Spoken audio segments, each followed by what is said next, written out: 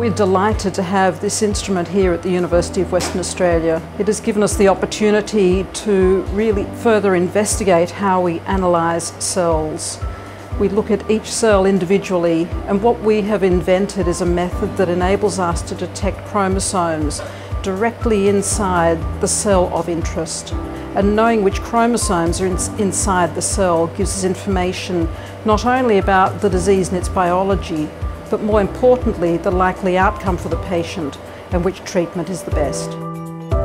So the method we have developed here at UWA, we have called the Immuno-flowFISH protocol. So the immuno component is referring to how we characterise leukemia cells to make sure that we're analysing those cells as opposed to normal.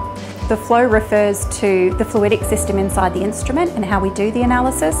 And the FISH component is the chromosome test that we do to look for the individual mutations. The protocol that we've developed is 100 times more sensitive than the current tests available, which means we can detect leukemia cells when they're at a much lower concentration, which is really ideal for monitoring of cancer during treatment.